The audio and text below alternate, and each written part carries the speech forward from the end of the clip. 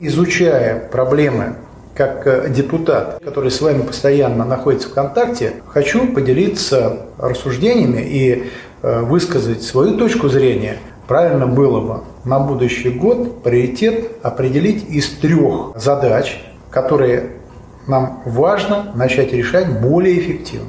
Речь идет об обеспечении жильем детей-сирот, многодетных семей и отселении людей из э, домов, которые находятся в ветхом аварийном состоянии.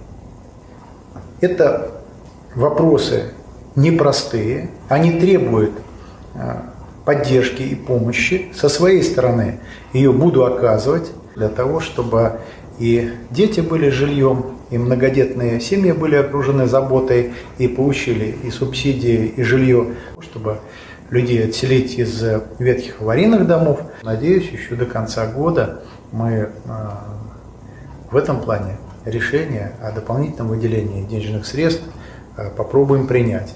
Вот такие задачи. Позже расскажу о том, что будет делаться в вопросах строительства новых больниц, больших медицинских центров и строительстве новых школ, расширяя возможности тех, которые есть. Поэтому это все текущая работа, которой надо заниматься. Спасибо вам большое.